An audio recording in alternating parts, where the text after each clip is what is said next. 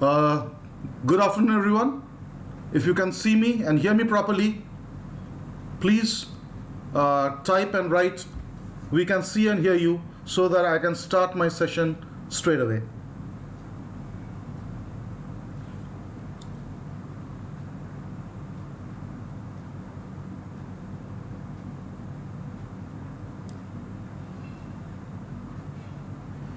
Uh, Vinod Bombatkar uh, is written, is it for class 10 only? See, you can attend class 10. I have tried to design it in a way uh, so that it is okay with class 9th, class 10th, class 11th, class 12th. Even, you know, some medical students, if they want, they can see it as well.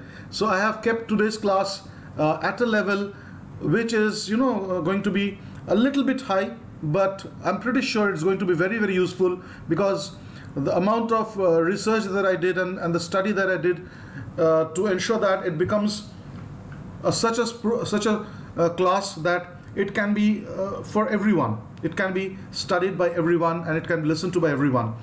So great. Now I will shift to my uh, slides. I will reduce my picture so that you do not miss the slides over here.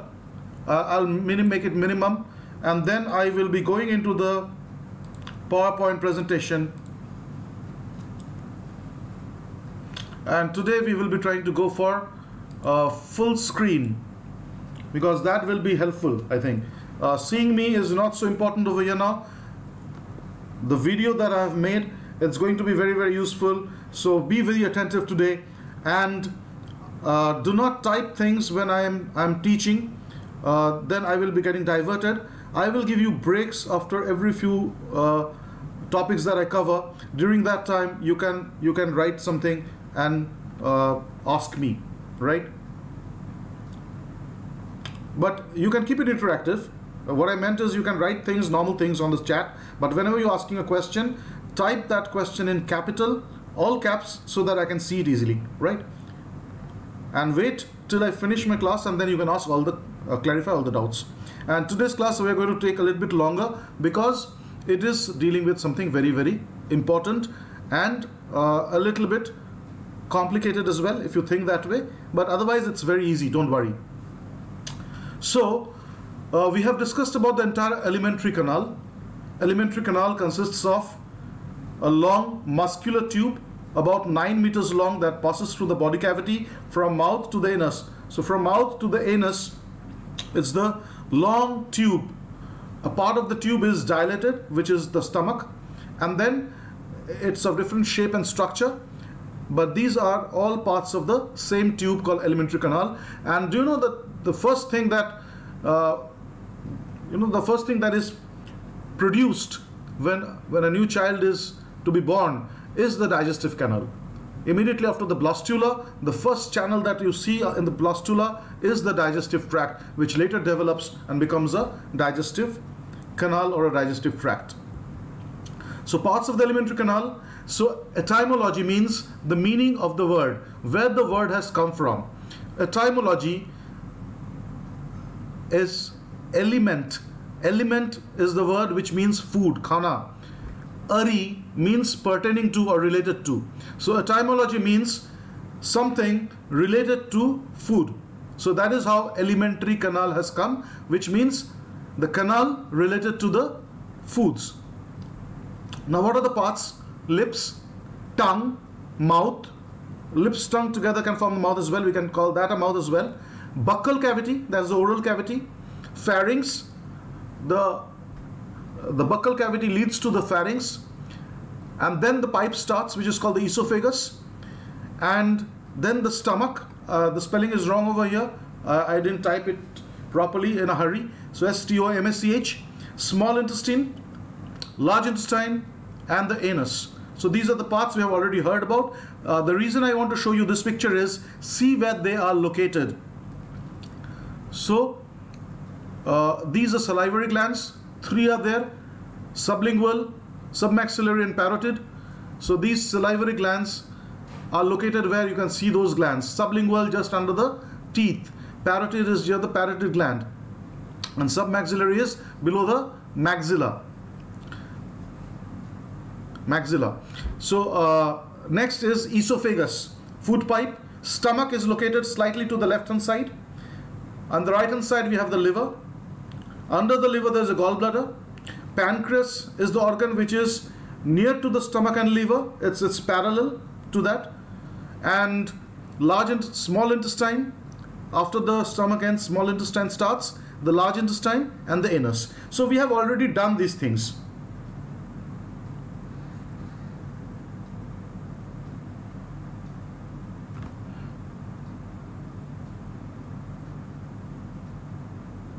Uh, just hold on a minute. I, I don't think you can see the video as well. Uh, let me check.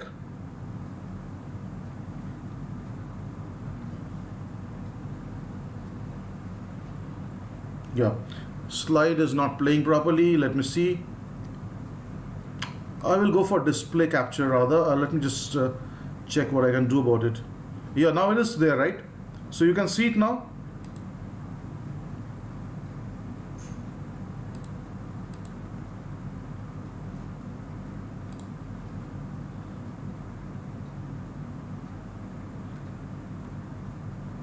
Is it okay? Is it okay? Can see right then that I can see.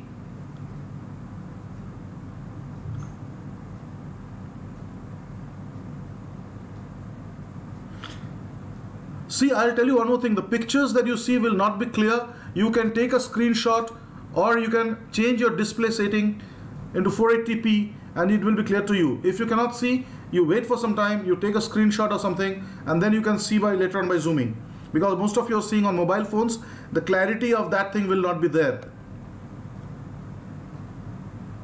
Just see if you can see the written part properly that will be good enough.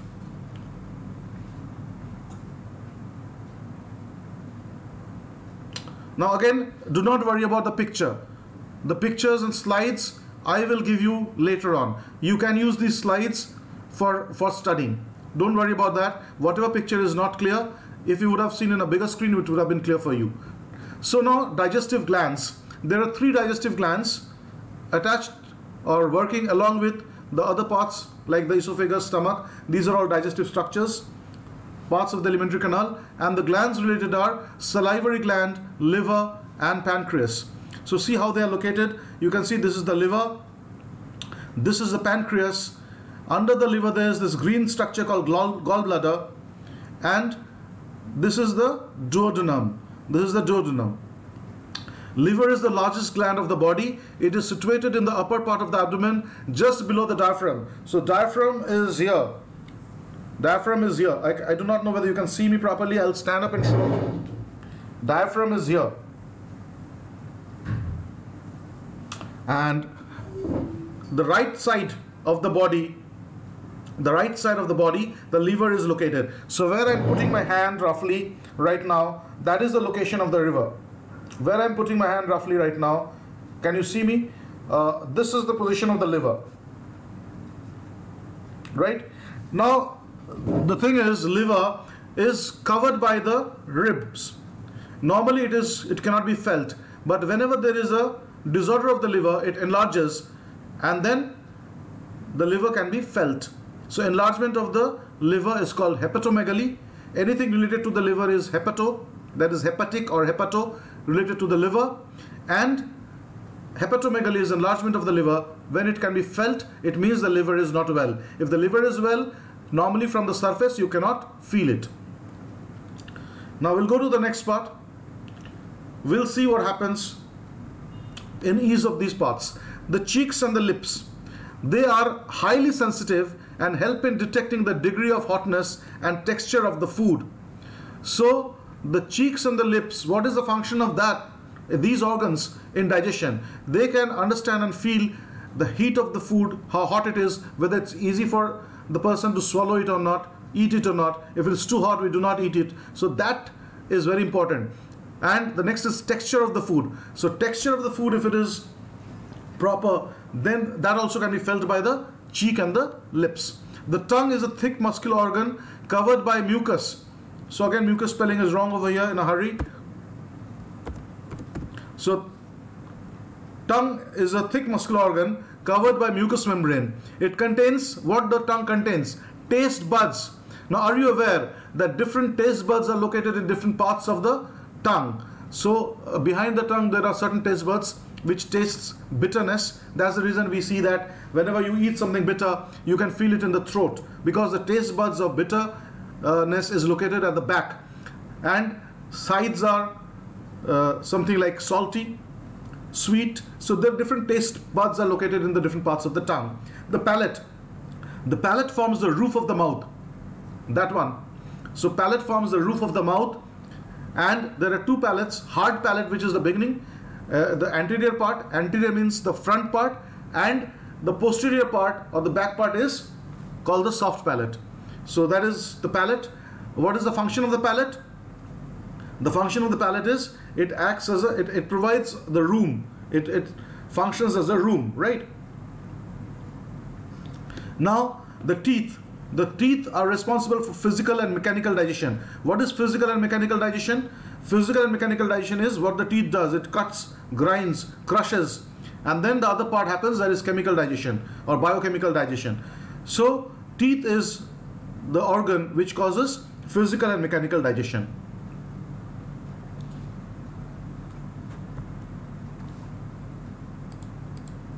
Now there are uh, three pairs of salivary gland.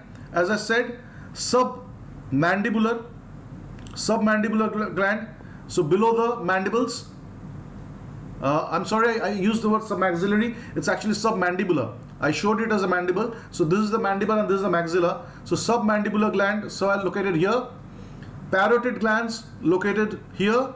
And the sublingual, that is sub means below sub inspector below the inspector so sublingual below the tongue lingua lingua means comes from language you can remember that way lingua language language tongue so sublingual and it contains what it contains it contains water mucus salts salivary amylase enzyme and lysozyme so i again repeat water mucus salts salivary amylase the salivary amylase enzyme and the lysozyme. Lysozyme was discovered in 1921 by Sir Alexander Fleming.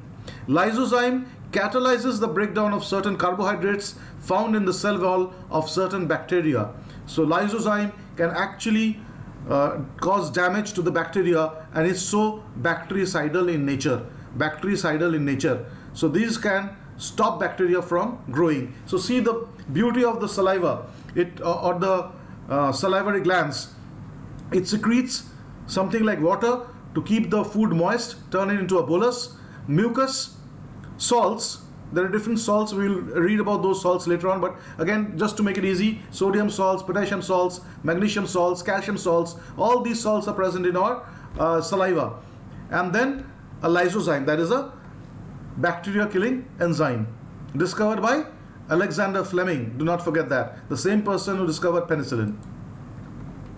Salivary secretions, what it contains. Saliva contains water, salts, mucus, enzyme called salivary amylase or ptyalin and lysozyme. So function of saliva is it moistens the food particles and helps in swallowing. Binds food particles together to form the bolus, helps clean mouth and teeth. Lysozyme kill bacteria, and it starts the chemical digestion of carbohydrates. So these are the functions of saliva. So if you get a question in the examination, what is the function of the saliva? You can make points like these and answer. So it moistens food particles, binds food particles together to form the bolus, helps clean the mouth and the teeth, lysozyme kills bacteria and starts chemical digestion of carbohydrate. Let's go to the next one. So composition of saliva is composed of a variety of electrolytes. So I was talking about the salts. It includes sodium, potassium, calcium, magnesium, bicarbonates and phosphates. Also found in the saliva are immunoglobulins. So immunoglobulins are, uh, you know, particles which are responsible for uh, immunity. Protein in nature, globulin is a protein so immunoglobulins are structures of protein which binds with specific antigens and uh, antibody re antigen reaction happens because of immunoglobulins which you will study in later immunity chapter when you go, uh, grow up higher, uh, go to higher classes.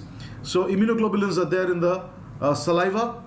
So there itself it, it will be uh, you know, neutralizing a few antigens by the antigen antibody reaction. And proteins are there, enzymes are there, mucins are there, and nitrogenous products such as urea and ammonia. Now you must be wondering what is a mucin? So what is a mucin? A mucin are family of large heavily glycosylated proteins. Mucins are family of large heavily glycosylated proteins. Although some mucins are membrane bound due to the presence of hydrophobic membrane spanning domain that favors retention of the plasma membrane, the concentration here is on those mucins that are secreted from the mucosal surface of the saliva. Do not worry about the complexity of all the sentences I just spoke. It's nothing not to be worried about. So just remember, mucins are family of large, highly glycosylated proteins. Now I will ask a question and let me test you. Who can say, who can say over here, what is a glycosylated protein? What is the meaning of glycosylation? I'm waiting for your answer now. What is a glycosylated protein? I said it's a glycosylated protein. What it is? Now let me check all the students who who are good good readers of the books, different books. What is a glycosylated protein? Uh, Vedant Tiwari, mucin spelling is M-U-C-I-N, not S-I-N.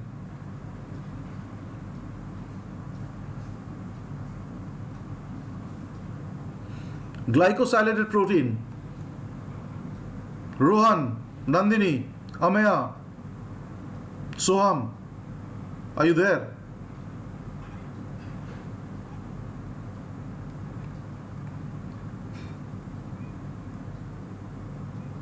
Kushnagara said mixture of glucose maybe. Glycosylated proteins, very good. So uh, Kush is very clear and very close. Now you people are Googling up. Do not Google. When you are attending the class, you do not sit with Google open, okay? Then it will stop your learning. You cannot learn with Google open. Glycosylated is it's a it's a reaction where glucose is attached with protein.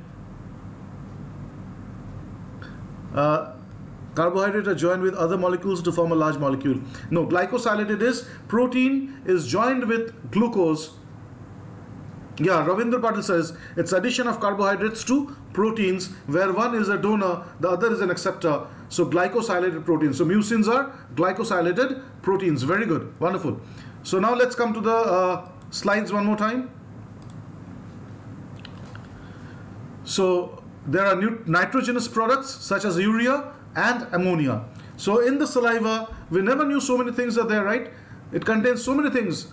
Electrolytes, sodium, potassium, calcium, magnesium, bicarbonate, phosphate, immunoglobulin, protein, enzymes, mucins, nitrogenous products, urea, ammonia. Oof. In this saliva, so many things. Can you believe it?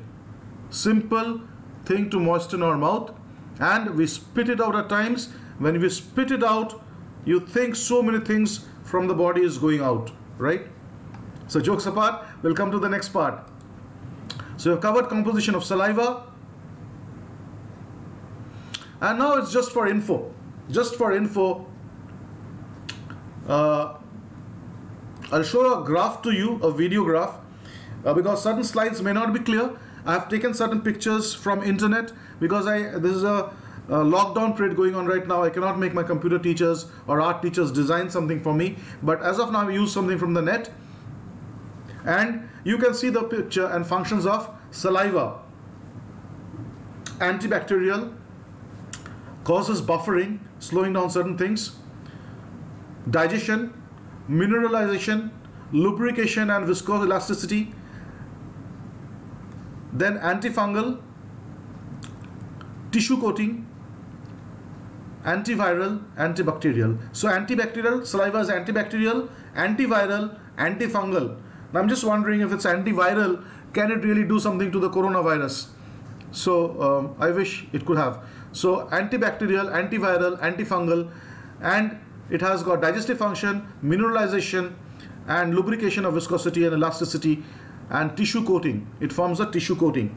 Now there are other organs, uh, other chemicals which I did not name, but I'll very quickly tell this just for information. It will not come in your 10th exam, board exam, but just for your information, here are the terms when you give the competitive exams like NEET, uh, if these terms come ever, you can at least answer it. Or even if it doesn't come, what's harm in getting the knowledge? So there are terms like cystatins, histatins, and statherins So uh, what are these things? Cystatins, histatins, and statherins We'll go back and see. statherin is a protein in humans that is encoded by stath gene. So there's a gene called STAT gene. It's encoded with that gene. It prevents the precipitation of calcium phosphate in saliva, maintaining high calcium level in saliva available for remineralization of tooth enamel and high phosphate levels for buffering. So you see uh, what it does the tooth enamel that we have is having calcium so it prevents the precipitation of calcium phosphate in saliva so there is calcium there is phosphate there's a high chance that the precipitation happens in the mouth. So this statherin prevents that from happening. What are cystatins? Cystatins are cysteine protease inhibitors present in the variety of tissues and body fluids including saliva. One possible function of these molecules may be to modulate tissue destruction in peri periodontal disease. So the periodontal diseases where tissue is degenerating or destructing, it modulates or it controls. So cystatins are doing that. What are histatins doing? Histatins are histidine-rich antimicrobial proteins found in saliva. Histatins involve in antimicrobial activities makes histatin part of the innate immune system. So histatin that is present in the saliva is histatin uh, histidine rich antimicrobial protein and it has you know protective function mucin a family of large heavily glycosylated protein which we have already covered. So statherin prevents precipitation of calcium phosphate in the mouth. Cystatins these are uh, modulate the tissue destruction of periodontal diseases. Histatins it uh, is protective in nature. And mucins are glycosylated proteins. So i hope you have understood it. I'll take a small break uh, for one minute for you to see, uh, like think and check if you have understood everything. I'll in the meantime go to the chat and see if any questions. Any questions with whatever I've taught? So mouth digestion over. Now we'll go slowly into stomach digestion. So tell me now if You have a question. Mouth digestion, I just wanted to add one more thing. Chemical digestion that happens in the mouth. The starch in complex sugars is broken down into maltose. Now earlier I told you glucose because I felt you will be understanding glucose a little bit better. But actually what happens when the starch is broken down under the action of ptyalin, it is broken down into something called maltose. And what is a maltose? Maltose is a chain of glucose, right? So it's a it's a two glucose particles attach each other and this is the maltose. So maltose is actually the thing that you feel sweet when you chew a bit of rice. Try that today at home. You take a little bit of rice before you eat any, any sabji or anything, take a little bit of rice and start chewing it. And you will find that after some time, if you have mixed it thoroughly with your salivary amylase, that is saliva, you will see it taste sweet because it's converted into, from starch into maltose.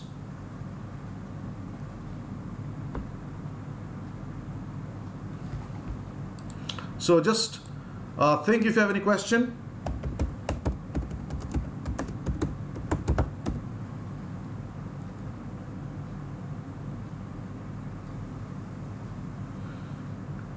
Now, uh, someone has asked me what is the function of palate. It is responsible for closing off the nasal passage during the act of swallowing. So nose and mouth, these channels are connected to each other. So soft palate, that is responsible for closing the nasal passage during the act of swallowing and also for closing of the airway. So the palate is also closing of the airway, epiglottis is also for there. During sneezing, it protects the nasal passage by diverting a portion of the excreted substance to the mouth. So during sneezing, uh, because it's coming with so much force, a little bit of diverted into the mouth. So after sneezing, you find something coming to your mouth as well, because if it's only the nose, it would have been exerting a lot of pressure. So this is the function of the palate. Apart from giving a bony protective covering, it acts in a way like uh, you know uh, during swallowing and during sneezing these are the protective functions of the palate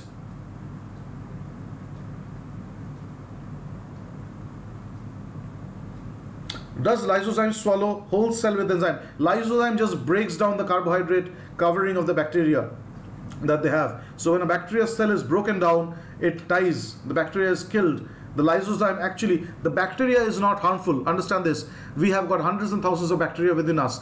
It is the poison or the toxin that is given by the bacteria is harmful. So what lysozyme does is basically it kills the bacteria itself. So when it is killed, it cannot give the poison anymore. The toxins cannot come out and we are safe.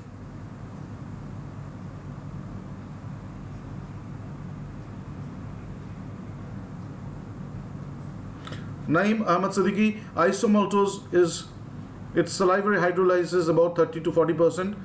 Uh, Amaya Bombarkar says saliva contains small amount of ammonia, but ammonia is harmful for our health. But why does it doesn't it harm, harm us?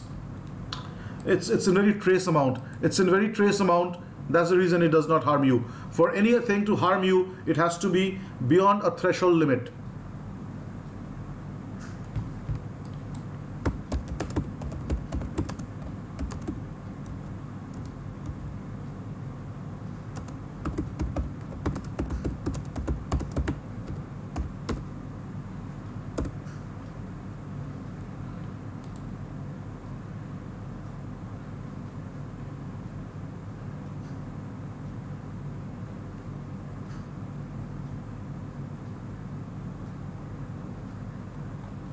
Any other question? Let me just check very quickly.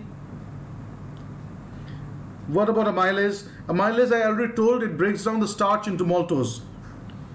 It breaks down the starch into maltose. Okay, great. Now we will start to the next part. Good. So we will go now to the digestion of mouth is over and we see uh, this is a very simple chart that I've drawn for you. So starch and glycogen under the action of amylase is broken down into maltose. Maltose under the action of maltase is broken down into monosaccharides. Now where is maltase we will see later on. Sucrose under the action of sucrase breaks down into glucose and fructose. And lactose under the action of lactase breaks down into glucose and galactose. Now I told you ASE means an enzyme which will break down. So lactose to be broken down by lactase, sucrose by sucrase, maltose by maltase. So the ultimate aim is the polysaccharides to be converted into monosaccharide. And monosaccharides you see is glucose, fructose, galactose. And the disaccharides are maltose, sucrose and lactose. So in the mouth, what happens? Starch is broken down under the action of amylase into maltose. Now let's come to the esophagus. I hope the mouth digestion is clear with you. The esophagus is about 25 centimeters in length, extending from the pharynx to the stomach, right? So pharynx to stomach. You just see the picture properly once.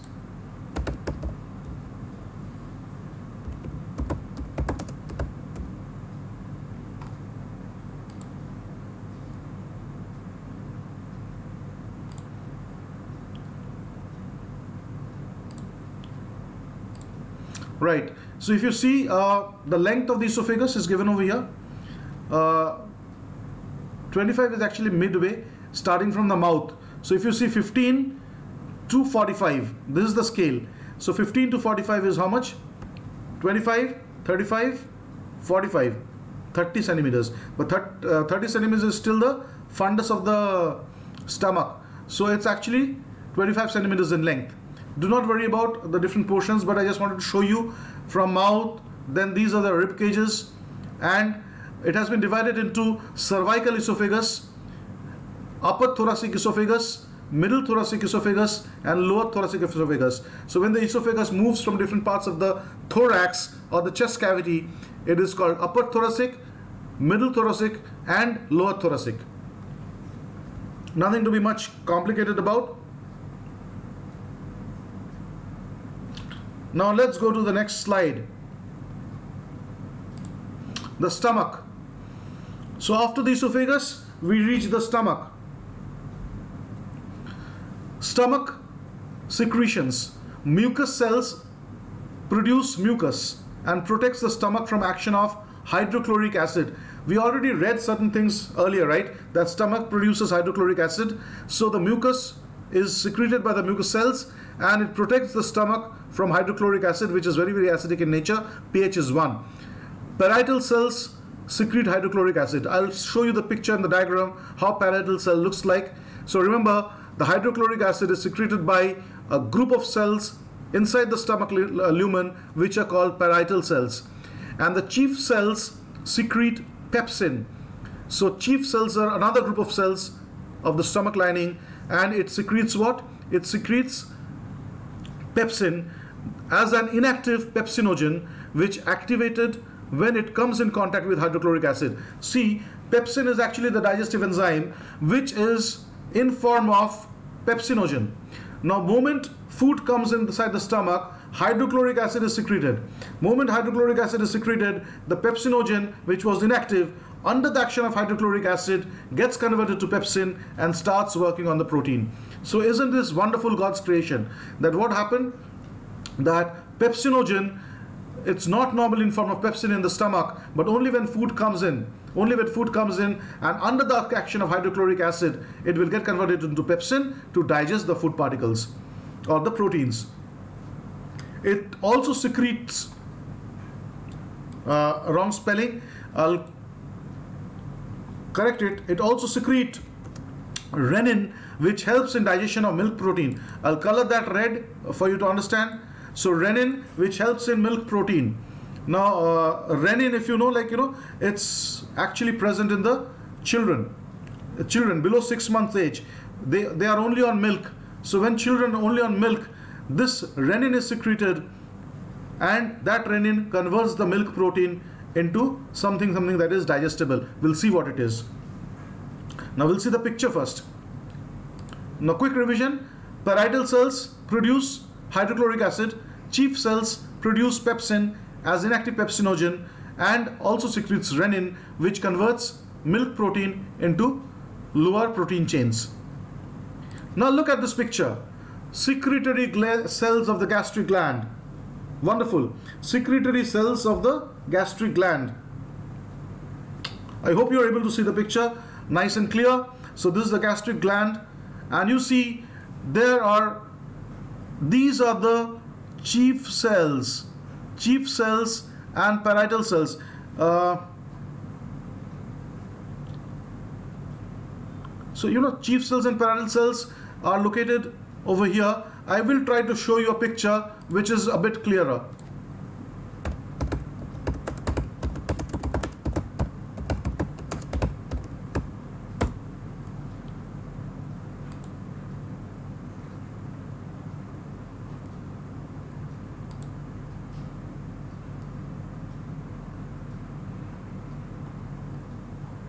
Just hold on a minute, I'll show you uh, I'll try to show uh, pull up a picture.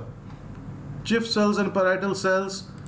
Let me see if I find a better picture for you. But as of now just remember that these are the cells located in the stomach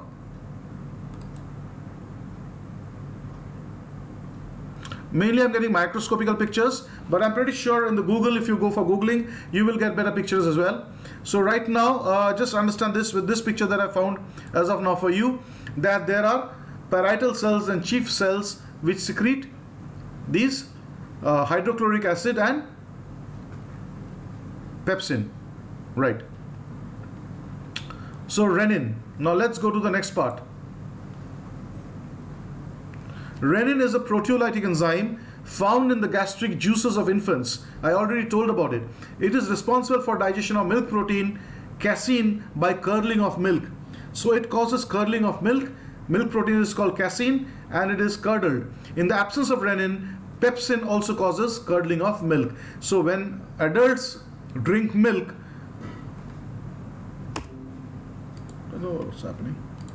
So when adults drink milk, what happens?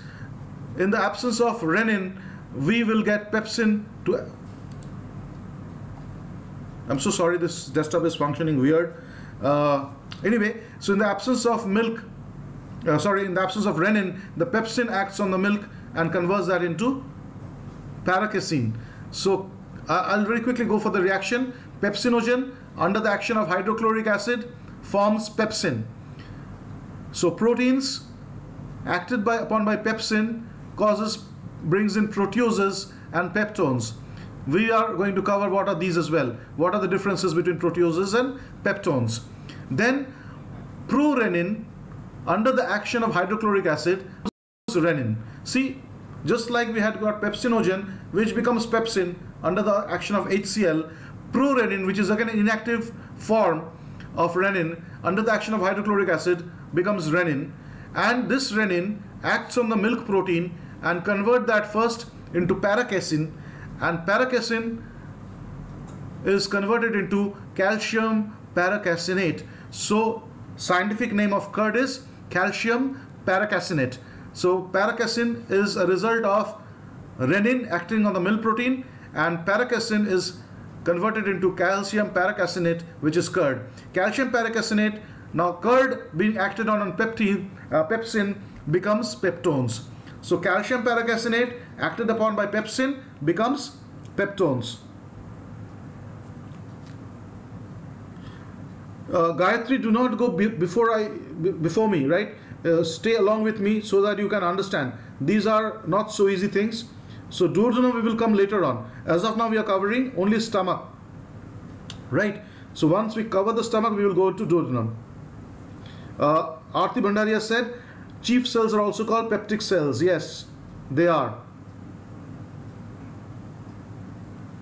Now good. So understand one thing. Pepsinogen converted into pepsin under action of hydrochloric acid prorenin converted into renin under the action of hydrochloric acid.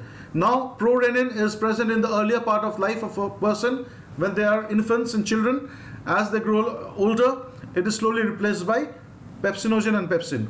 Casein of the milk, which is the milk protein, the name of the milk protein is casein. Under the action of renin is converted into paracasein and paracasein is converted into calcium paracaseinate or calcium paracaseinate is known as curd as well, which is again acted upon by pepsin and form peptones. So I hope this is clear. Now we'll go into what are peptides, proteoses and peptones. So those who are not very clear what are peptides, proteoses and peptones, let's have a very quick overview of these three terms. Peptides are referred to at least two amino acids joined by amide bonds so just remember this much. Do not go too much deep into the biochemistry. It's, it's an unending sea. It, it will never finish. You can go deeper and deeper and ultimately from biology we'll reach to advanced chemistry. So we will try to restrict ourselves to a portion which is good enough for us, a little bit above the class knowledge. So peptides refers to at least two amino acids joined by amide bonds. So they are joined by amide bonds. Now what proteoses are? Proteoses are products of acid proteolysis which precipitate with saturating ammonium sulfate. Now remember this are products of acid proteolysis. Acid causing protein to lyse or break.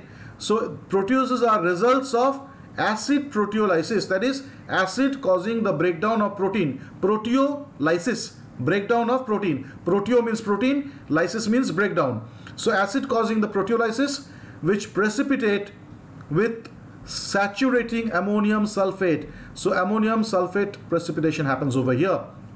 And peptones are products of acid proteolysis which do not precipitate with saturating ammonium sulfate. So ammonium sulfate is the differentiating factor. In proteoses, it precipitates with ammonium sulfate, saturating ammonium sulfate, and in peptones, it does not saturate with ammonium sulfate. So understand this is a very, very technical term.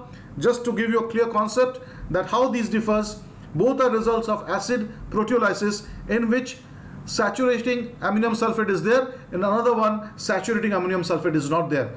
Do not go deeper than this. It's enough for you. Now let's see the gastric lumen. The gastric lumen, how it looks like. Now you see, this is the blood capillary. Above that, the interstitial fluid, surface mucous cells, epithelial junctions, mucous bicarbonate barrier there's a bicarbonate barrier in the gastric lumen. This is the blue part that I'm pointing at. HCO3, H plus, H2O plus CO2 form, forms this uh, bicarbonate layer barrier. And this bicarbonate barrier prevents the H plus this is the gastric lumen where the pH as you can see is 1 and 2 and a lot of uh, you know protons a lot of protons or hydrogen uh, ions are moving around in this zone because this zone is extremely acidic. But this acid cannot reach the epithelial junctions mainly because it's protected by the mucous bicarbonate barrier. So this bicarbonate barrier stops the hydro, uh, hydrogen ions or acid acids to act on the mucous layer.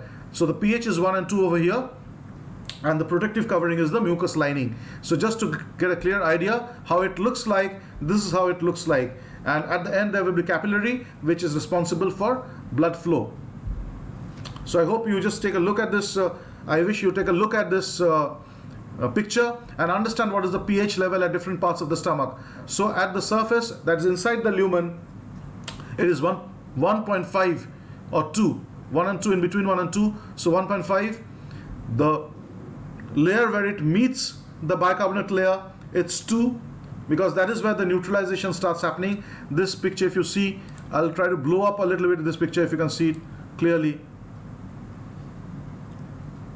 see this part acid acts on that and reaction is happening. Reaction is happening in this part and that is the reason the pH of this part is 2 and then the pH of bicarbonate layer is 7 which is very very neutral in nature and slightly alkaline rather.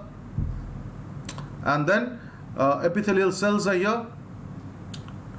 Now next I think the gastric lumen is done. In gastric lumen the proteins are being acted upon. Now let me just add over here if I've missed that out earlier in the mouth along with the amylase there are little bit of fat breaking enzymes as well. These are called salivary lipase and there are certain enzymes which very trace amount but it breaks proteins as well. So salivary protease as well are there along with the amylase. So amylase is more in quantity more useful in saliva and then lipase and amylase and protease uh, this protease and lipase both are there in stress amount now let's go to the digestion of the small intestine so you people were asking me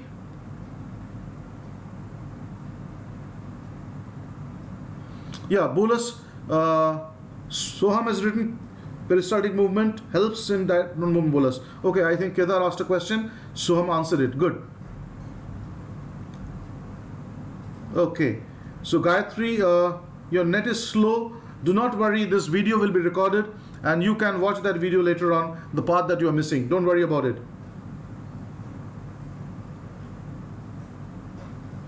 Now let's go to the small intestine. I hope the stomach digestion process is clear. We'll very quickly go to the small intestine.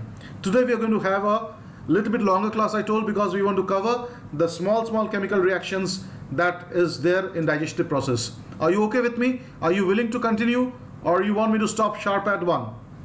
I'm waiting for your response. So if you are finding it interesting, the chemical reactions, we will go a little bit beyond. Otherwise, we'll stop sharp at 110. So if you write continue, I will understand you want me to continue. Otherwise, if you want me to stop, you can write we will end up at 110.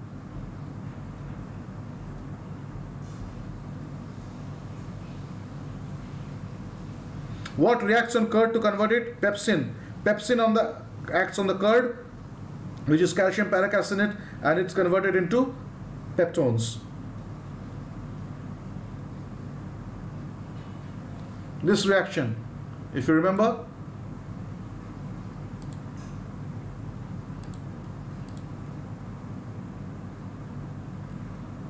Ansh Chaudhary, what's your question? Yeah, I've answered your question right now. Okay, most of you want me to continue. That's good.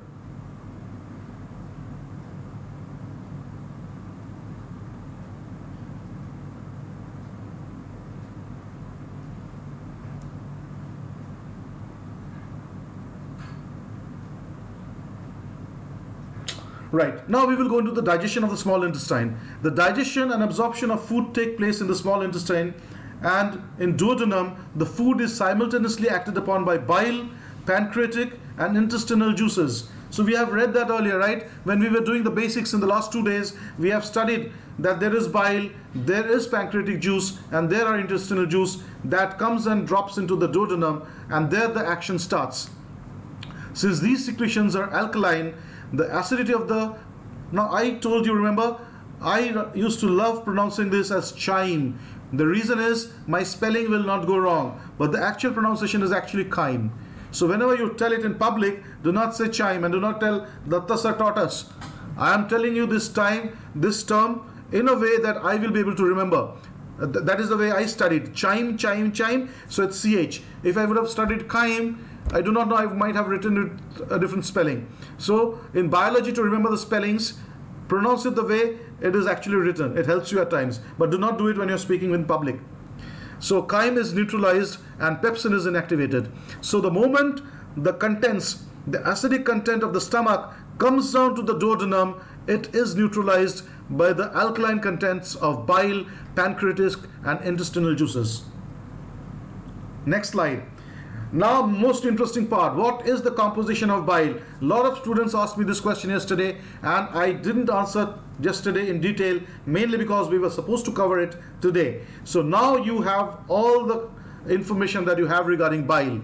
Bile or gall. So this is also a gall because it's stored in gallbladder. It's also called gall in English. So bile or gall is a dark green to yellowish brown fluid produced by the liver of most vertebrates that aids the digestion of lipids in the small intestine. In humans, bile is produced continuously by the liver. So liver is the organ which produces bile.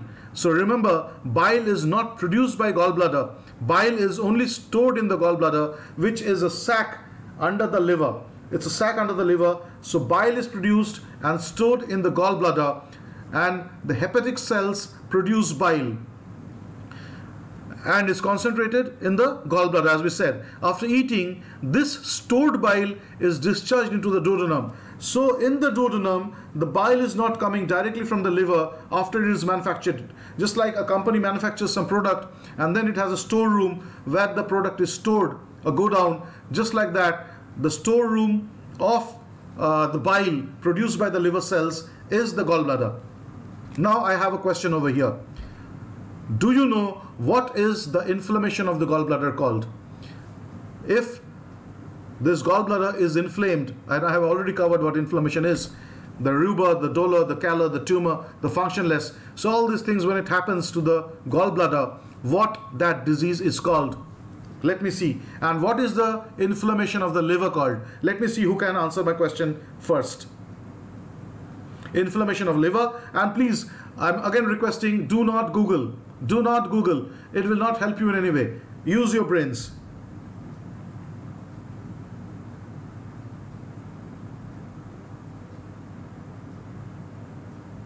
Uh, Ansh, most people want me to continue and I prefer to continue because I want to get this over today itself. So if you want, you can leave in at 110 and you can see the recordings later on.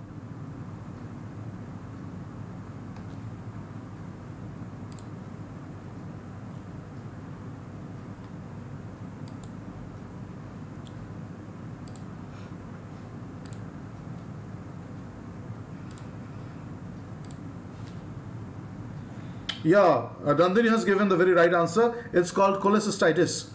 Cholecystitis. So chol, cyst, chole is bile, a cyst or the cell that stores it, inflammation of that. So cholecystitis is inflammation of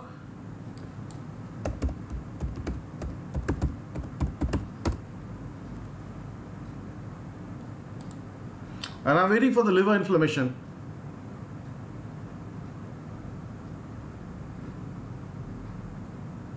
Yeah, Naim uh, Ahmad Siddiqui has written hepatitis, Shruti Bangare, hepatitis. It's not hepatitis, it's hepatitis. So hepatitis is, uh, answer it's not liveritis. It's, I told you anything regarding to the liver, in when you refer to biology, it's hepa, it's not liver. So hepato, hepa, hepatic. So here it's hepatitis. So hepatitis A and B, you have heard of these terms. So hepatitis and cholecystitis. Now I'll very quickly come back to the uh, lesson part. What is the composition of bile? So bile is a yellowish green fluid and it contains water 97.6%. I'll try to big uh, enlarge the picture for you. See, uh, water is 97.6% and solids are only 2.4%. The organic substances present are bile salts, bile pigments, cholesterol, fatty acids, lecithin which is a fat and mucin which is a protein. So we have already covered these things. I'll just remind you in detail categorization. You can see this chart later on and remember. So organic substances are bile salts, bile pigments, cholesterol, fatty acids, lecithin, and mucin. And inorganic substances like sodium, calcium, potassium, chlorides, and bicarbonate. So this is the composition of bile. Now let's come to the role that bile plays. Emulsification. What is emulsification? Very simply, if you try to understand what emulsification is, try uh, to help your mother in dishwashing today. You know, when you wash a dish that has been used, oil is there, so oil is fat. So what you do basically, if you try to just wash off the oil, it will not go. So you need an emulsifying agent or surfactant that helps to emulsify the lipid or the oil layer. So you take some detergent powder and then you put on the thali and try to rub it with scotch, uh, Scotch-Brite. You will see the oil particles slowly come out of the surface of the thali. That is called emulsification. You know the surfactant role of the surfactant. So the bile or gall act as to some extent as surfactant helping to emulsify the lipids in food.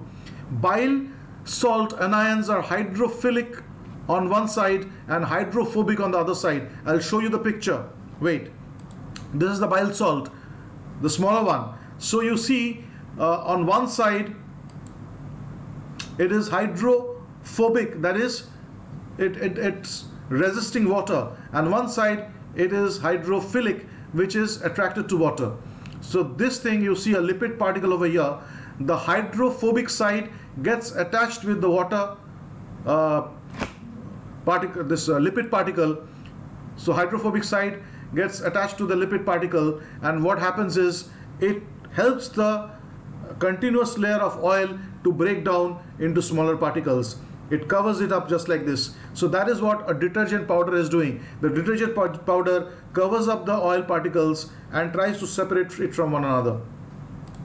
So uh, it's hydrophilic on one side and hydrophobic on the other side consequently they tend to aggregate around the droplets of lipids so they try to aggregate around the droplets of lipids like triglycerides and phospholipids to form micelles. So when they uh, make these particles, separate separate particles of lipid, this is called a micelle with hydrophobic side towards the fat and hydrophilic side facing outward. The hydrophilic sides are negatively charged and this charge prevents fat droplets coated with bile from re-aggregating into larger fat particles. So hydrophilic sides are negatively charged and this charge prevents the fat droplet coated with bile from re-aggregating. So since one side is negatively charged, the charges will repel to each other and because like charges will repel, they will not aggregate. Ordinarily, the micelle in the duodenum have a diameter of around 1 to 50 micrometer in humans. So see, uh, more particles like this, what happens? The hydrophilic side, which side is negative? If you see, the hydrophilic sides are negative. So you see this side is negative. This side is negative. It's entirely covered with negative charge. And another negative charge which comes closer to it will be repelled by the negative charge. So lipids cannot join each other. So that is the way it is breaking down the lipids. Now let's come to the next slide. Pancreatic lipase. Now you see the role of the bile is just like a detergent powder while trying to wash a thali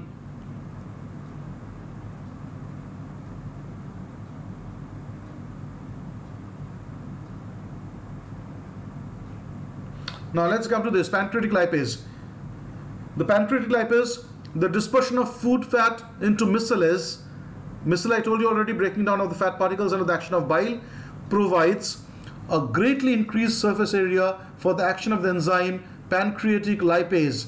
No wonder where it comes from. The parallel organ of the stomach. It is the pancreatic pancreas and we have seen in the first chapter, first picture rather, how a pancreas looks like. It looks like a cone. It looks like a conical in shape, almost like a leaf as well. If you draw, if you're drawing on a exam paper, you can draw it like a leaf, long leaf. So the pancreatic lipase is there, which actually digests the triglycerides and is able to reach the fatty core through gaps between the bile salts. So now, if everywhere it is covered with the bile salts, how will the pancreatic lipase reach? It is a gap in between these bile salts.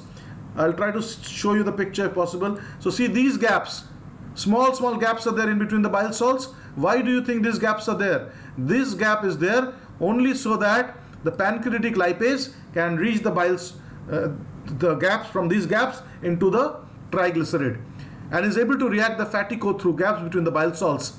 A triglyceride is broken down into two fatty acids and monoglyceride which are absorbed by the villi on the intestinal walls. So it is broken down into monoglyceride, into fatty acids and those are taken up by the intestinal villi. We'll go for intestinal villi how it acts later on. After being transferred across the intestinal membrane, the fatty acids reform into triglyceride. Did you know that this?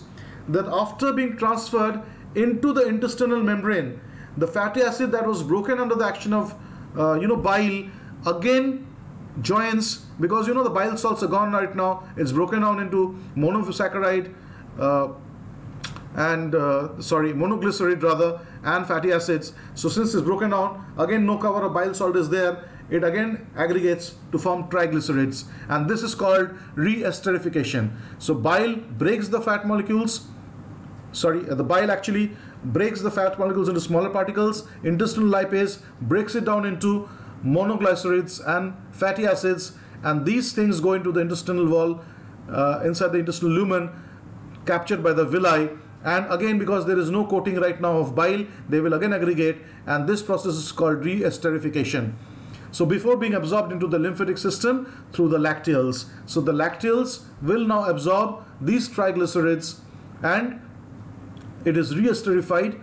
The reesterification process happens where in the inside the intestinal lumen. So without bile salts, most of the lipids in food would be excreted in feces undigested. So if it was not the bile salt, so you're thinking, what is the role of the bile salt? If it breaks down and ultimately again in the intestine it is joining, so what is the use? The use is that it has broken down that, you know, complex triglyceride into a monoglyceride and into fatty acids under the action of pancreatic lipase, which again join and form triglyceride, but this is a different nature of triglyceride. And this triglyceride can be absorbed I, I will tell you later on when we go for fat digestion where actually it happens. Triglycerides are triple chains. When fatty acids are there in triple chain, तीन चीज मिल जाता है that is triglyceride. Tri, when you say tri, di, mono, these are numbers we are referring to how many of the basic molecules are there to form that. So disaccharide, it is two.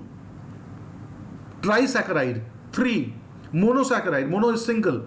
So these numbers mono di tri poly it means multiple. So these numbers tell it is a simple molecule or it's a complex molecule. And if it is a complex molecule how many simple molecules make it up? Just like now I want an answer from you. Maltose is what? Maltose is what? A monosaccharide a polysaccharide a disaccharide or anything else. If you think of any other name you can write that what is maltose?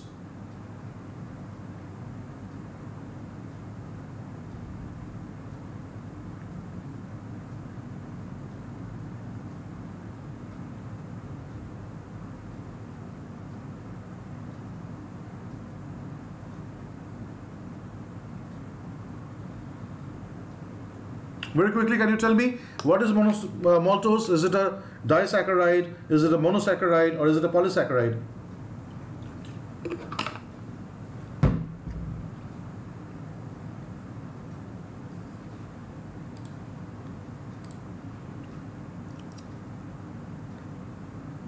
Yeah, it's a diglyceride. Amaya has given the right answer. It's a diglyceride.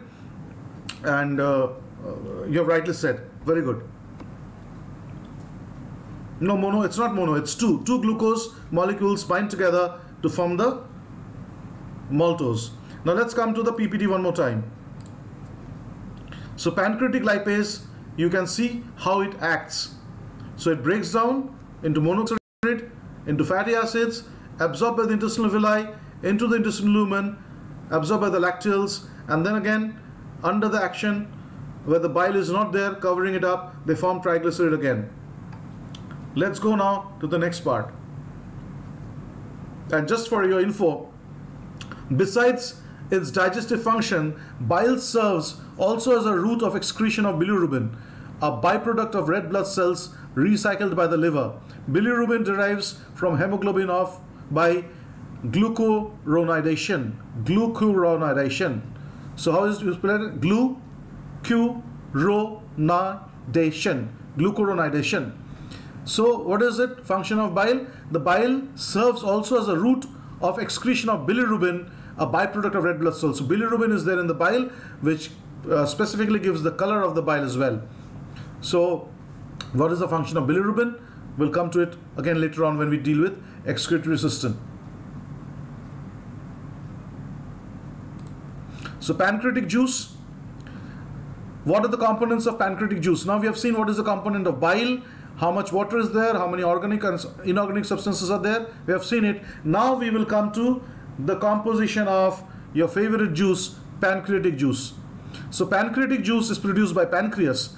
The pancreatic ducts open in the duodenum and pour their secretions there. So pancreatic ducts open in the duodenum and pour their secretion there. There are five enzymes present in the pancreatic juice. Trypsin, chymotrypsin or you can pronounce it chymotrypsin so that you do not make mistakes in spelling.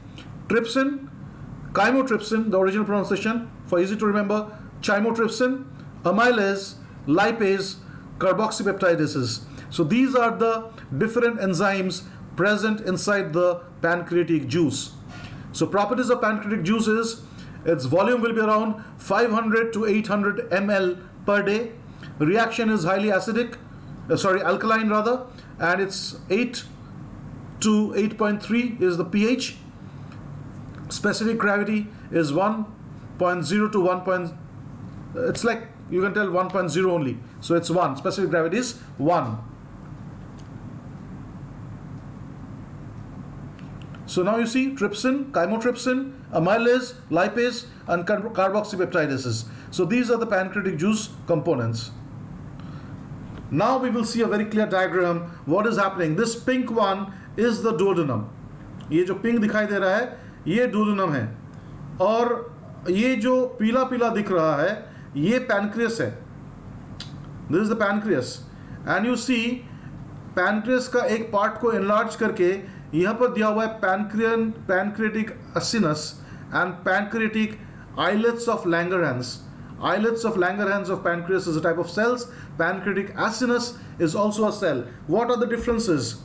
Pancreatic islets of uh, Langerhans is basically endocrine in function. It's an endocrine in function and it secretes your this enzymes. You know, what are these? Insulin and glucagon. Insulin and glucagon, these are secreted by the endocrine function of the pancreas cells called islets of Langerhans. Whereas the pancreatic acinus is the or are the cells which secretes the exocrine function or performs the exocrine function of the pancreas and this is the pancreatic juice. So pancreatic juice, does it come from the islets of Langerhans? The answer will be no. It comes from the pancreatic acinus which is performing a function called exocrine function so pancreas there are two types of cells दो तरह का sales है अलग अलग function का। एक तरह का सेल है आइलेट्स ऑफ़ लैंगर हैं, जिसका फ़ंक्शन एंडोक्रीन है, और ये इंसुलिन और ग्लूकोगोन सिक्रीशन करता है, और एसनस है which secretes the pancreatic juice which we are dealing with right now so exocrine function of the pancreas the juice comes out from acinus cells and is drains into the duodenum so you see the duodenum so this brown color is the uh, bile, this is a a gallbladder. Then there's a cystic duct, which is a shape of a small protrusion over here that I'm putting the mouse on. So this is called the cystic duct and it comes and join the liver ducts called hepatic ducts. So now you see, uh, if gallbladder is inflamed, the doctors cut off this gallbladder. So doctors cut off this gallbladder and gallbladder is removed. Now where if the gallbladder is removed, where the bile will come from? That time what happens? The bile comes directly from the liver into the duodenum through these hepatic ducts. And this is a common bile duct because it was taking hepatic bile as well as gallbladder bile into the duodenum. But if the gallbladder is removed in cholecystitis operation, then what happens? Then these, uh, uh, you know, the hepatic ducts, they carry the bile from the liver. This is called hepatic bile and fat digestion can still go on, but not in the same way when the uh, gallbladder was there because it was a storehouse. It was a storehouse, so it was ready-made supply. So if now it is depending on the manufacture of the hepatic ducts, it is to slow down so we cannot eat so much fat and fatty foods after the gallbladder operation.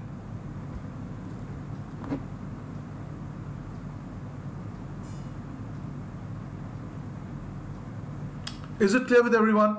What is uh, the exocrine and endocrine function of pancreas? Now in gallbladder, uh, the juice comes over here, the bile, and comes into the duodenum, and as well, the pancreas secretes its juice into the duodenum. So uh, if this part is clear, you can just write so it's clear so that I can move ahead. I'll try to cover it within the 30 minutes more max.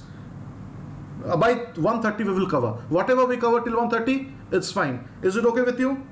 Is it clear? So if it's clear, please type clear and let me know it's clear so that I can move ahead. Great. Vedant Tiwari, it's clear. Nice. All right, now so we come next to the next slide. Trypsin, chymotrypsin. I, I spelled it wrong over here. So chymo and tri, uh, trypsin and chymotrypsin, what are the actions? Very quickly, we have seen what bile does. We have seen, we will see now what pancreatic juice will do. So trypsin and chymotrypsin present in pancreatic juice.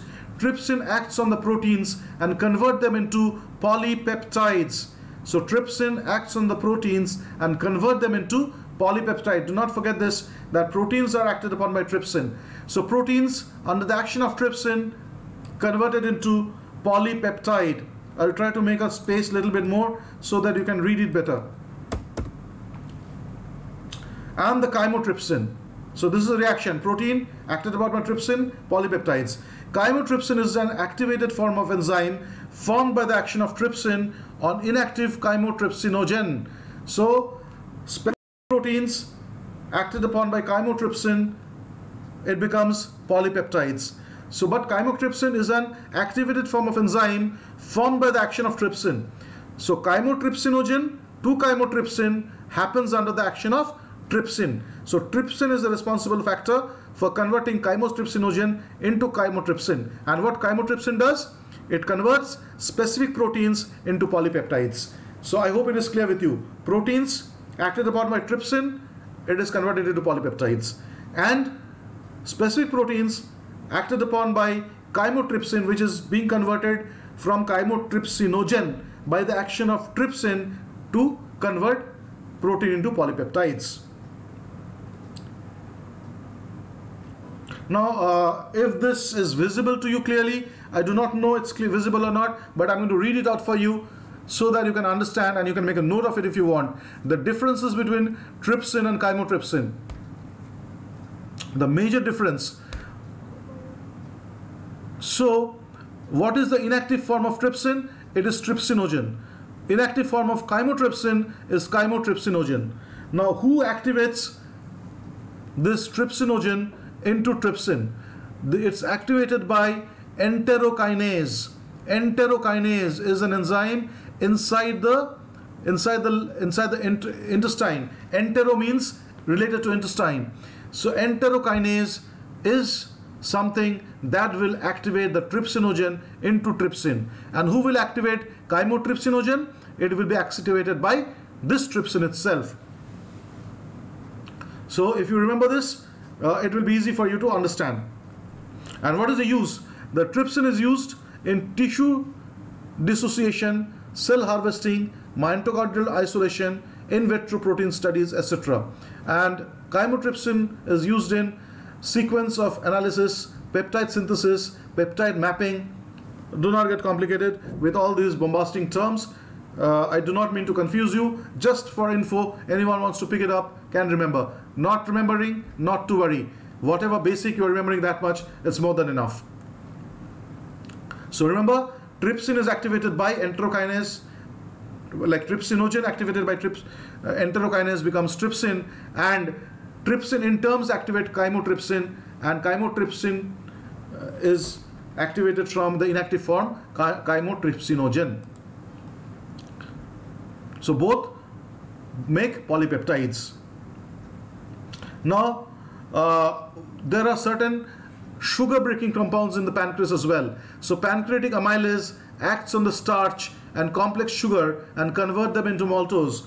So starch and complex sugar is acted upon by pancreatic amylase, a sugar breaking enzyme present inside the pancreas. And that is converted into maltose. Now pancreatic lipase, fat breaking enzyme in the pancreas or pancreatic juice it acts as a, on the emulsifies uh, fats and convert them emulsified fats rather so pancreatic lipase acts on emulsified fats that is emulsified means fat broken down under the action of bile by both reaction remember negative negative repelling how the detergent cleans off the oil so that emulsified fat is acted upon by pancreatic lipase and converted to fatty acids and glycerol. So glycerol or glycerol, whatever you way you remember, you can remember that spelling. Uh, so it's broken down by pancreatic lipase. So emulsified fats under the action of lipase, this is the reaction, is broken down into fatty acid and glycerol. And intestinal amylase causes sugars into maltose. Now, procarboxypeptidase A procarboxypeptidase B. There are two types of procarboxypeptidases. In the pancreatic amylase, procarboxypeptidase was one of the component. Big name, procarboxypeptidase. Procarboxypeptidase A and B. So, enterokinase, an enzyme secreted by the duodenal mucosa, converts trypsinogen to trypsin. Now, enterokinase and peptide uh, procarboxypeptidases are one and the same thing. Enterokinase and procarboxypeptidase are the same thing which converts trypsinogen into trypsin which then automatically converts trypsinogen into trypsin. So it's a uh, autocatalytic reaction. So initially pro procarboxypeptidase will convert trypsinogen into trypsin and once trypsin is formed the reactant uh, to start the reaction we needed the enterokinase or procarboxypeptidase. Once the reaction starts it goes on an autocatalytic reaction. Autocatalytic reaction where the uh, product itself is a catalyst. So trypsin is the product. Itself starts acting as a catalyst to form more amount of trypsin. So it started out on by the procarboxypeptidase. If you remember Nandini asked a question yesterday uh, it was regarding the procarboxypeptidases.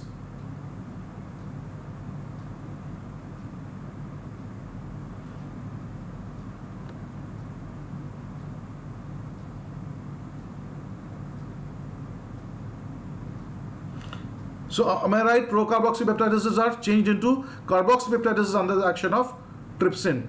That's also right. Procarboxypeptidases is also converted into carboxypeptidase under the action of trypsin. That's good enough. But remember that an enzyme secreted by the duodenal mucosa, enterokinase, converts trypsinogen into trypsin.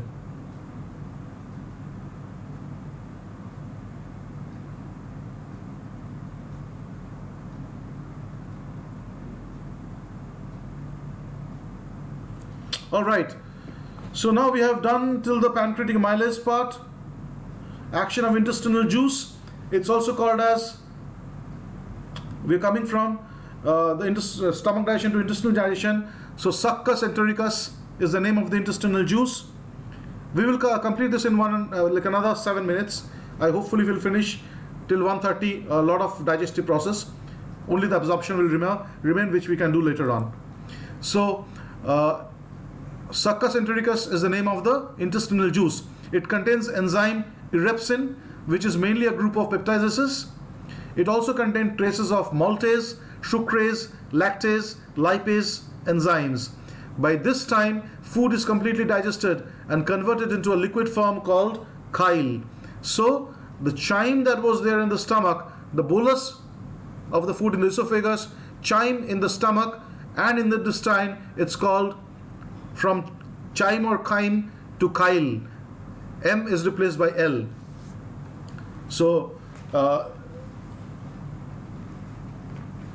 I, I think you look at the slide properly and we will go to the reaction part. Now you see the reaction. Intestinal juice, digestion of starch, maltose acted upon by maltase converts into glucose. Lactose, under the action of lactase, forms glucose and galactose. Sucrase, under the action of intestinal juice, forms sucra glucose and fructose. So sucrase, in fact, it's not sucrase, it's supposed to be sucrose over here. Sucrose, under the action of sucrase, forms glucose and fructose. So lactose breaks down into glucose, galactose. Remember, lactose sounds similar with galactose. So lactose को तोड़ेंगे तो glucose तो मिलेगा ही हर बार जो तोड़ेंगे sugar को हम लोग ग्लूकोज मिलेगा लेकिन याद रखने के लिए लैक्टोज का साथ गैलेक्टोज बनेगा Or शुक्रोज का साथ फ्रुक्टोज बनेगा sugar, fruit. Remember this, sugar and fruit. So sucrase will break down sucrose into fructose.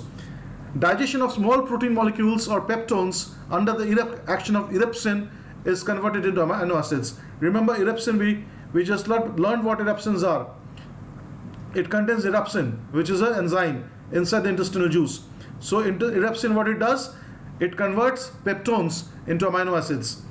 Trypsinogen under the action of enterokinase gets converted into trypsin. And digestion of fats fats under the action of lipase forms fatty acids and glycerol. So this is the entire digestive system happening in the intestinal uh, lumen. I hope uh, it's it's clear with everyone i do not want to go for absorption today we will try to cover absorption next day on monday by that time, you should have a quick revision of whatever I have told today. Uh, if anyone has any doubt, you can ask me right now. Do not ask weird questions. Try to be uh, very, very specific. Whatever I have covered, if you have not understood anything, let me know, and then we can cover it up.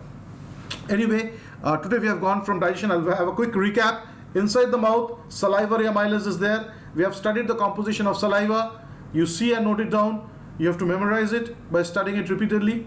So there what happens, the starch or complex sugars are broken down into maltose under the action of salivary amylase or ptyalin. There is also lysozyme inside the mouth which breaks down the bacterial covering and kills the bacteria. Then it comes to the duodenum. In the duodenum, it just passes on in peristaltic movement, reaches the stomach. When it reaches the stomach, it's acted upon by hydrochloric acid which converts the entire media into acidic and when it becomes acidic there is a pepsinogen which is an inactive form of uh, uh, it's an inactive compound which is being converted into active form pepsin under the action of hydrochloric acid. Hydrochloric acid is produced by which cells and uh, which cells produce pepsin? Who can tell? Very quickly, hydrochloric acids are manufactured by which cell inside the stomach? I want the answers. If you can hear me quickly, let me know.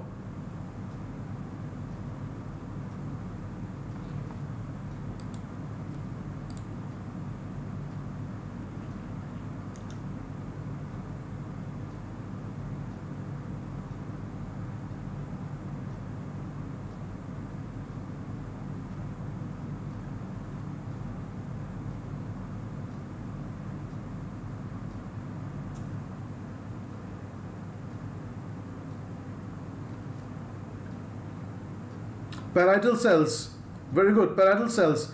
And uh, now tell me who produces pepsin. The peptic cells I also told some a different name chief cells yes chief cells. Very good. I've got the right answer over here. So under the action of pepsin the proteins are broken down into what? Under the action of pepsin the proteins are broken down into what Proteins are broken down into what? What are the components where protein is broken down under the action of pepsin? Uh, what are these two components? Yeah, Crick Sherry Paratal has given the right answer. Uh, right answer. Kushnagra, oxidizing cells and secrete hydrochloric acid. Uh, parietal cells and Schiff cells. Right answer. Multiple names are there in biology. You can follow anyone. No problem with that.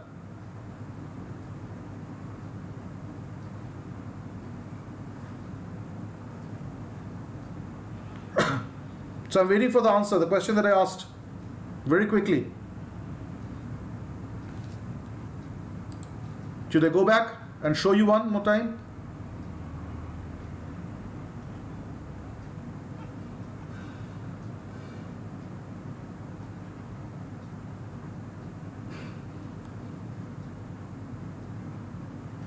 Proteases and peptones. So proteoses and peptones. Now very quickly, difference between proteoses and peptones. Difference between proteoses and peptones. I used a particular uh, compound's name. Who can tell that? Proteoses and peptones, the differentiating compound name, what it is? Saturating, saturating, Yes, which compound? Proteases and peptones, which compound, which compound differentiates them? Saturation of which compound? Very good. Nandini has given the right answer. Ammonium sulfate. Very nice. So now we have covered the protein digestion. What is the very quickly this picture what is this blue layer very quickly tell me what is the blue layer what is the blue layer it's the mucus, right? Very good. So, uh, composition of bile, we have covered that part. We have covered what bile contains of. So, bile salts, bilirubin, biliverdin, cholesterol, fatty acids, all these components are there. Just take a look at the slide. You can save this slide. You can check it in the video and note down the composition of bile. Remember uh, the brown color of the feces that we have the excretory system when we study the mixing of bilirubin which is yellowish in color and biliverdin which is greenish in color so yellow and green mixed together to form the brown color of the feces so bilirubin and biliverdin mixed together gives the green color of the feces so bile we have studied. We have studied emulsification. Remember the thali washing example with detergent. That is what bile does. detergent is just like bile. It breaks down the particle into small, small droplets. One side is hydrophobic, the other is hydrophilic. So hydrophilic side face each other and outside side is the hydrophilic one which is negative. Negative, negative repel. It cannot join. Now this is how the lipid particle looks like. So this is the hydrophilic side which is negative in nature and the particles are broken down. Pancreatic lipase contains uh, like it break, breaks down by going through these small gaps and lipase is broken down. The lipase is there to break down this lipid into monoglyceride and fatty acid which is absorbed by the intestinal villi and when it is absorbed by the intestinal villi it again forms triglyceride and absorbed through the lacteals which we will study in the absorption part. So uh, pancreatic juice contains five things, trypsin, chymotrypsin, amylase, lipase and carboxypeptidase. This is the diagram which I showed you. Trypsin getting converted into uh, trypsin from trypsinogen under the action of enterokinase. Chymotrypsin getting converted into chymotrypsin from chymotrypsinogen under the action of trypsin and breaks down into polypeptides. Difference between chymotrypsin and trypsin we have seen. Inactive form trypsinogen and chymotrypsinogen. The next part was amylase of pancreas breaking down into sugar uh, from sugar into simpler substance like maltose. And emulsified fats broken down by lipase into fatty acids and glycerol. And procarboxypeptidases A and procarboxypeptidase B are two different types of enterokinase An enzyme secreted by the duodenal mucosa converts trypsinogen to trypsin, which then autocatalytically convert more trypsinogen to trypsin. So, trypsinogen converted into trypsin under the action of enterokinase. And enterokinase, once it converts uh, that trypsinogen into trypsin, now trypsin will take over and start converting more trypsinogen into trypsin. Action of intestinal juice, which is called succus entericus. It contains enzyme erepsin. And uh, what erepsin does? Erepsin basically uh, breaks the peptones into amino acids. Peptones broken down into amino acids under by the erepsin. And then we have got maltase, which break down malt, maltose into it breaks down maltose into glucose and lactose into glucose and galactose. So that's it. Uh, we will cover it up today. Let me see in the chat if some people are there. So all the reactions I've already shown you.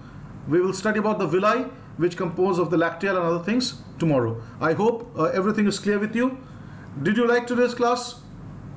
Or is it too difficult? Should I go at this level or should I reduce my level? You can let me know.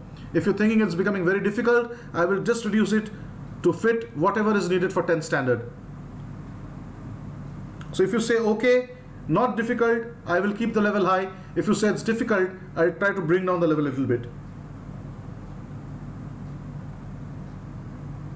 I have a call. I'll just quickly check uh, what teachers are telling. In the meantime, if you have any question, you can just uh, let me know.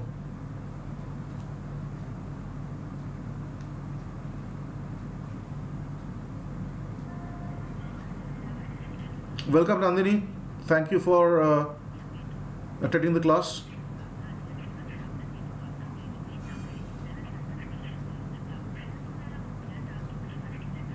Uh, Naeem Ahmed Sidhi, uh, I will reduce it. But you know, few children were asking a little bit deeper questions. So I thought of addressing their requirement as well. But from now on, I'll try to go in the 10th standard level. And what we will do is, uh, we will take one, you know, little bit above level class, maybe on the next day right? Next day means on one of the days of the week, we'll go a little bit high, other days we will be okay. Yes, Deshmukh ma'am?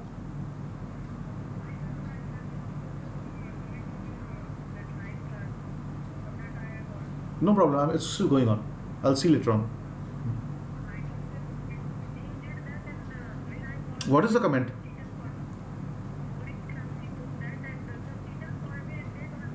Uh, let it be. I'm just in the middle of a class. I'll talk to you later. No problem.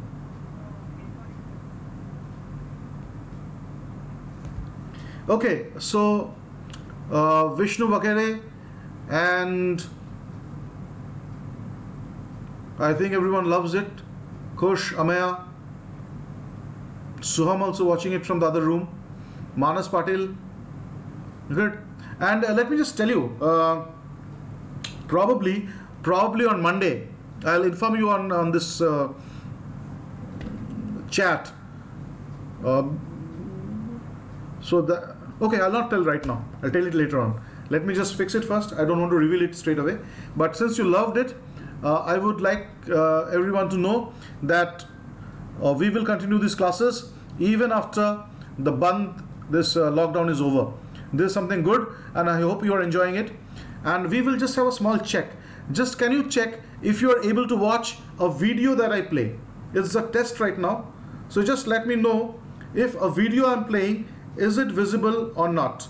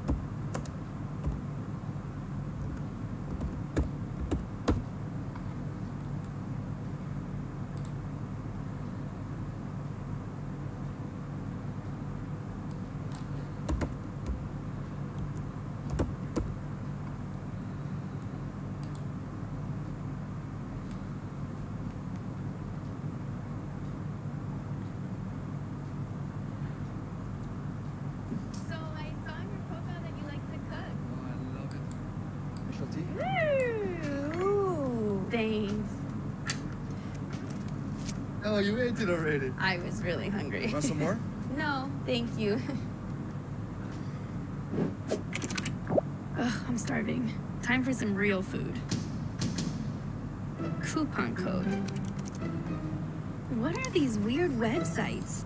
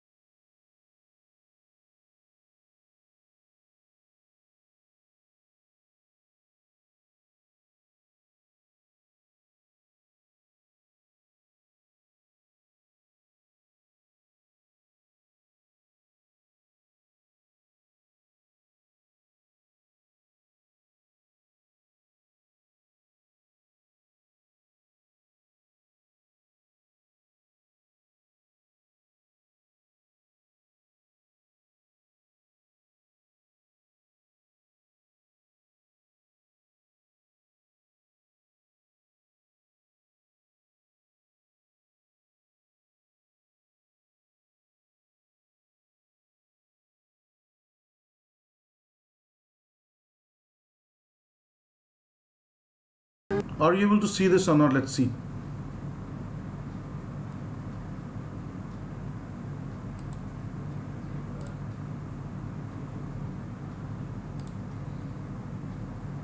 Let's give ourselves a little bit of practice with percentages. So let's ask ourselves what what percent percent of I don't know, let's say what percent of 16 is 4? And I encourage you to pause this video and to try it out yourself. So when you're saying what percent of 16 is 4, percent is another way of saying what fraction of 16 is 4. Is it just need to visible? it Is the video visible? percent as per 100. So if you said what fraction of 4 is, or what fraction of 16 is 4, you would say, well, look, this is the same thing as 4 sixteenths, which is the same thing as equal, uh, this is the same thing as 1 fourth. But this is saying what fraction 4 is of 16. You'd say, well, 4 is 1 fourth of 16. But it still doesn't answer our question. What percent? What percent? So in order to write this as a percent, we literally have to write it as something over 100. Percent literally means per cent. So the word cent, you know from cents and century. It relates to the number 100. So it's per 100. So you could say, well, this is going to be equal to question mark over 100. the All right. So I just 100. wanted to test that. And there's a Thank bunch you of ways that you could uh, think for about this. participating. You could say, well, look, if in the denominator to go from 4 to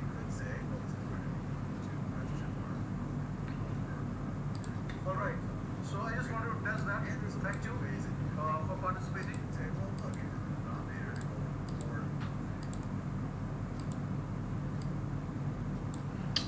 uh, thank you for attending the class. It was a long class, but uh, nice that students stayed glued in, and we learned a lot of things about digestion, and uh, we are best utilizing this time of uh, lockdown.